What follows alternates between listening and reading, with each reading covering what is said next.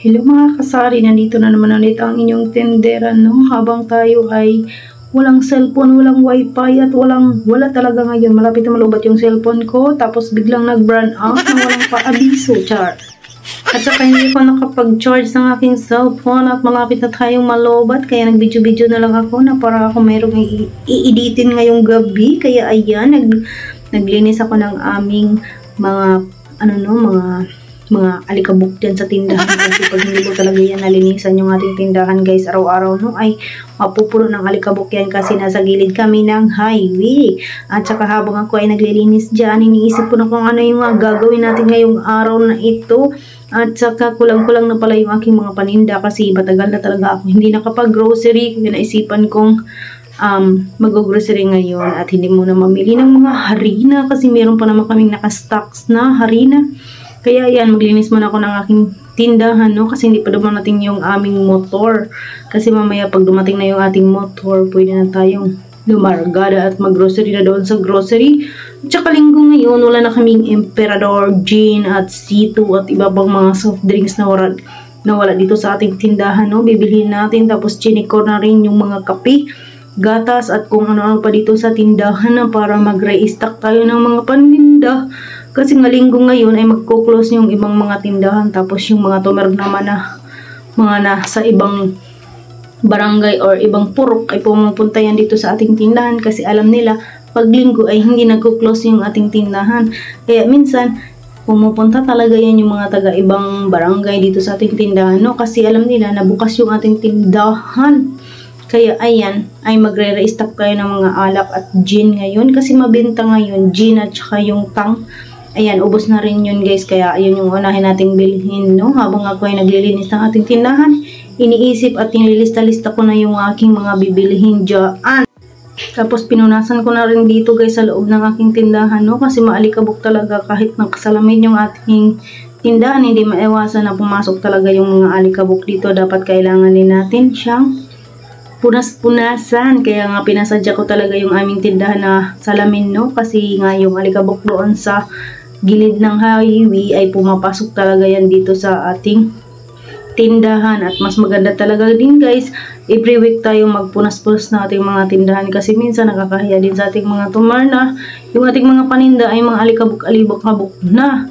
Kaya nga minsan pag walang pamunas dyan minsan pag pagbigay ko ng mga tumor minsan guys no yung mga dilata medyo malikabok-alikabok tapos hindi ako nakapamunas ayan yung damit ko yun minsan pinupunas ko dyan tapos talaga ay parang naano ko ngayon no yung yung paninda ko na medyo pakunti ng pakunti yung aking mga paninda no parang na-realize ko talaga ngayon guys na mas maganda pala yung konti yung paninda mo pero kompleto naman yung paninda mo. Hindi kagaya dati na napakarami kong mga paninda, marami ako nakastock sa tindahan ko, tapos kulang-kulang naman, hindi siya kumpleto. Parang mas maganda yung kahit pa konti-konti lang yung ating paninda, pero kumpleto naman, di ba? Yung parang na ano na, na ano ako ngayon, yung parang na lesson learn ako ngayon na medyo konti na lang yung aking paninda, no? Parang na-realize ko na mas maganda pala yung konti lang yung ating mga paninda, pero kumpleto naman siya. Kaya yung parang yung ganun, tapos hindi talaga ako nagpapautang ngayon guys kahit piso, no? Kasi napaka, ano talaga maghagilap ng pera ngayon, tapos ipapautang mo pa na. Alam naman ng lahat na yung aking puhunan ng aking tindahan ay inutang lamang.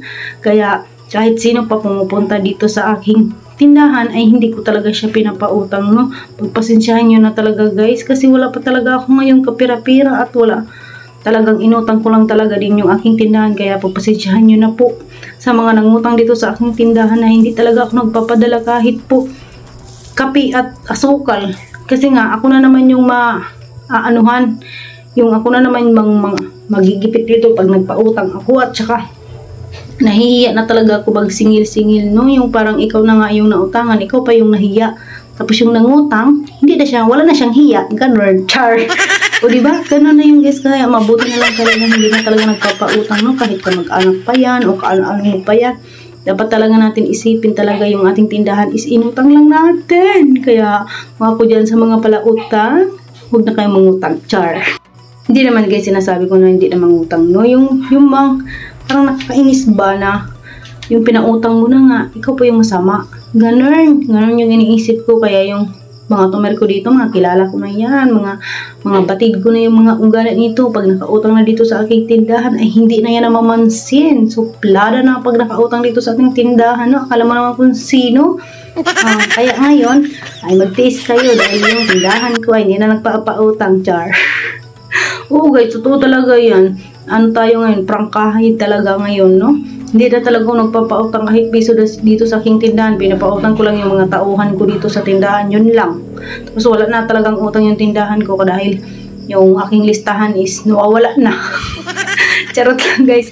Makakaano kasi nakakainis ka, nakakainis kasi yun, yung ikaw pa yung inutangan, ikaw pa yung naistorbo, ikaw pa yung naglista, di ba? Yung gabi na lang hindi ka magpautang sa mga customer mo or ano, bahala sila kung magalit ba sila sa'yo o hindi basta sa akin talaga ngayon yung parang, parang pinanindigan ko talaga na hindi talaga magpautang. Sa sobrang mahal ba naman ng mga bilihin ngayon at dami pang naman pinagagastusan yung kita namin sa tindahan guys. Kulang pa pang bayad sa tubig kuryente. Dahil wala kaming tubig dito sa amin, binibili namin yung tubig kaya hindi hindi talaga ako nagpapautang ngayon kahit namimilit pa yung mangungutang dito sa akin tindahan. Bahala na kayong magtampo sa akin basta sinasabi ko talaga na hindi magpapautang. Ay, pinapangatawanan ko talaga ngayon yan na hindi ko nagpapautang kahit nga kulang yung pera nila na dalawang piso ay hindi talaga ako nagpapadala no? Kaya ayan pasensyahan nyo na talaga guys. Kahit lang yan dalawang piso yan tapos hindi yan magbayad sa'yo.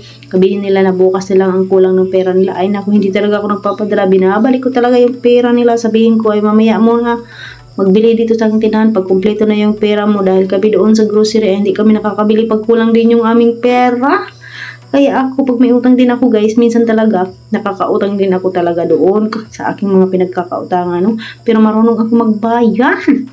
Oo, ganon. Kaya yung mga pinagkakautangan ko, sila pa yung nag-iimbitar sa akin na mangutang na daw ako. Pero ako, ayaw ko dahil wala akong pangbayad. Kaya ganyan tayo mangutang, dapat tayo ay magbayad. So hanggang dito na lang yung ating video. Bukas naman ulit, ang haba-haba na naman yung aking daldal dito. Ayan, buti na lang talaga nag-video-video.